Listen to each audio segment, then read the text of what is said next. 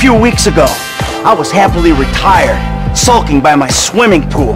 My psychotic best friend shows up out of nowhere to torture me over mistakes I made, honest mistakes I made over a decade ago.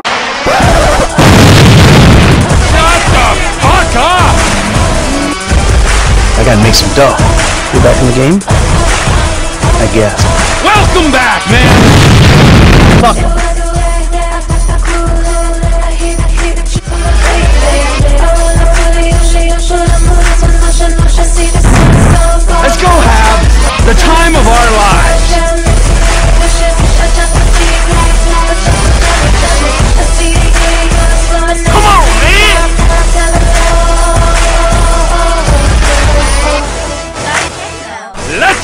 save America! Uh, hey, you mind? I'm trying to conversation.